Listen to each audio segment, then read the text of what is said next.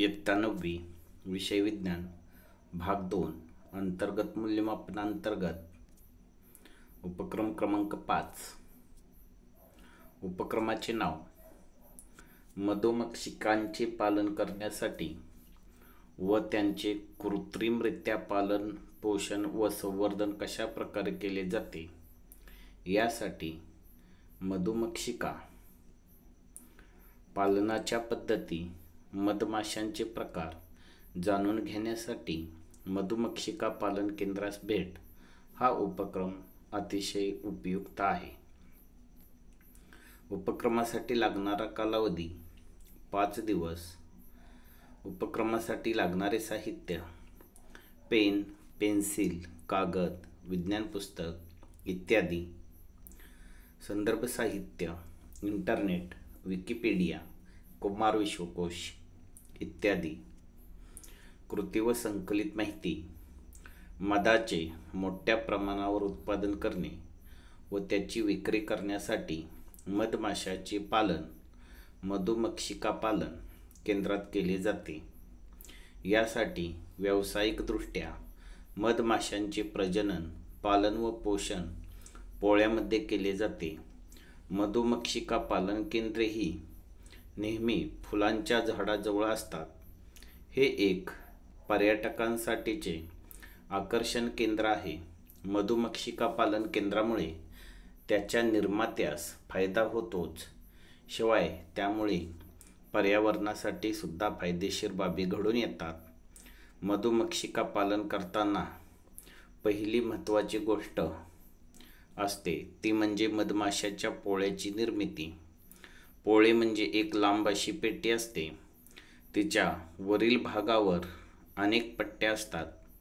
प्रत्येक स्वतंत्र पट्टीला एक एक पोळे तयार करण्यासाठी मधमाशीला आवश्यक तेवढी नैसर्गिक जागा उपलब्ध करून दिली जाते.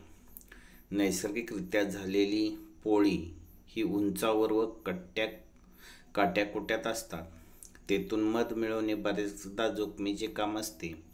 त्यापेक्षा मधुमक्षिका पालन केंद्रात मध निर्मिती करण्यास मधमाशांना उद्युक्त केले तर जास्त सोयीस्कर ठरते.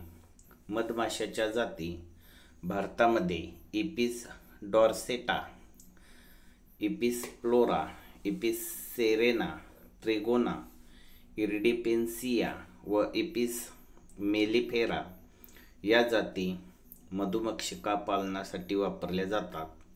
मधमाशाच्या एका वसाहतीतून दरवर्षी सहा ते आठ किलो मध मिळतो.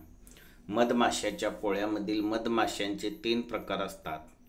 राणी माशी एकाच वेळी अनेक अंडे घालते. नर मधमाशी अंड्याचे फलन करण्यास मदत करते.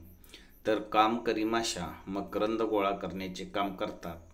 वसाहतीची काळजी मधुमक्षिकांच्या पोळ्यांची तपासणी शक्यतो सकाळच्या वेळी व आठवड्यातून किमान एकदा तरी करावी लागते. मधमाशांना त्यांना कोणत्याही शत्रूपासून त्रास होऊ नये म्हणून काळजी घ्यावी लागते. तीन चतुर्थांश भाग. मदाने व एक चतुर्थांश भाग. आळ्यांनी भरलेला फ्रेम चेंबरच्या बाहेर काढून ठेवाव्यात. मध गोळा करणे.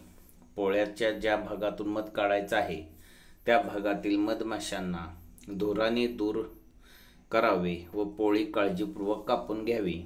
मधाची काढणी ऑक्टोबर नोव्हेंबर तसेच जूनमध्ये काढणे सोयीस्कर असते.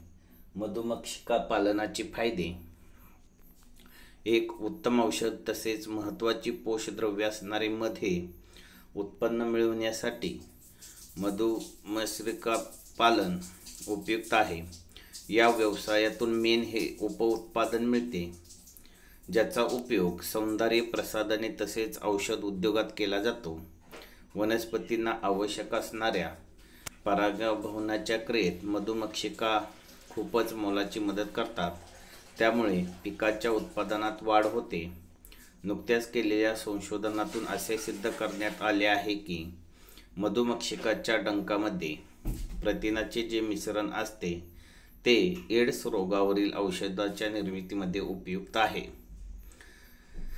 अनुमान निष्कर्ष कीटक हा जगातील सर्वात मोठा संघ आहे. त्यापैकी अनेक कीटक मानवांना उपयुक्त आहेत. अनेक रोगावरील उपचार आहार यासाठी मध उपयुक्त ठरतो. अर्थार्जन व शेतीपूरक व्यवसाय म्हणून मधुमक्षिका पालन अतिशय योग्य पर्याय आहे.